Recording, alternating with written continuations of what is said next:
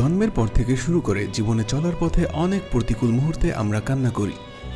ব্যথা পেলে যেমন কান্নার মাধ্যমে তা প্রকাশ পায়, দুঃখ অনুভব হলেও কান্নার মধ্য দিয়ে মন অনেকটা শীতল হয়। এই কান্না নিয়ে আজকের ভিডিওতে জানাব দশটি অবাক করা তথ্য। কেউ হয়তো বেশি কান্না করে, কেউ হয়তো কম।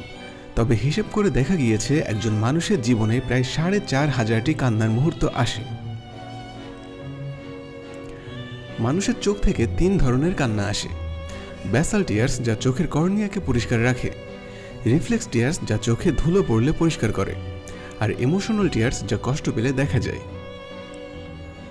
মানুষ সহ সব ধরনের প্রাণী কান্না করতে পারে, কিন্তু অন্য কোনো প্রাণী ইমোশনাল হয়ে কান্না করে না। অর্থাৎ তাদের চোখে শুধু ব্যাসাল ও রিফ্লেক্স টিয়ার্সই দেখা যাবে। নারীরা পুরুষের চেয়ে প্রায় দ্বিগুণ কান্না করে। একটা রিপোর্টে দেখা গিয়েছে, একজন নারী মাসে পাঁচ দশমিক চারবার ও একজন পুরুষ মাসে এক দশমিক তিনবার কান্না করে। আপনি সর্বোচ্চ কতক্ষণ কান্না করেছেন? জানাতে পারেন কমেন্টে। আপনি যত শক্তিশালী মানুষ হন, পেঁয়াজ কাটার সময় চোখের পানি আটকাতে পারবেন না। কারণ এ সময় পেঁয়াজ থেকে সিন প্রোফেন্টিয়াল এসঅক্সাইড বের হয়ে ল্যাক্রিমাল গ্ল্যান্ডকে আঘাত করে। মেয়েদের কান্নার গন্ধ একজন পুরুষের যৌন আকাঙ্ক্ষা কমিয়ে দিতে পারে। বিশেষ করে স্ত্রী অতিরিক্ত কান্না করার সময় স্বামীর আবেদনময় ভাবনা সম্পূর্ণ চলেও যেতে পারে।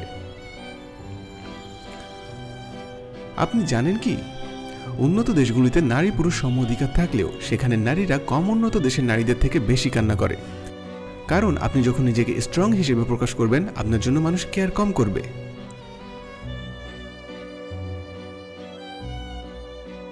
কান্নার পর শরীর থেকে স্ট্রেস হরমোন নিঃসৃত হয়ে যায়। তাই মন থেকে কষ্ট কমে গিয়ে অনেকটা ভালো ও হালকা অনুভূত হয়।